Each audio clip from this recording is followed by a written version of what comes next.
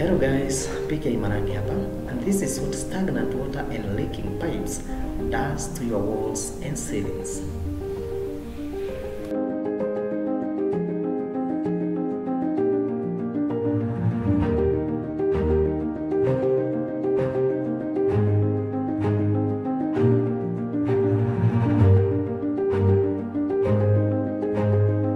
In today's video, I'm going to show you how to treat this kind of walls using Seal 88 and Mapelastic Smart.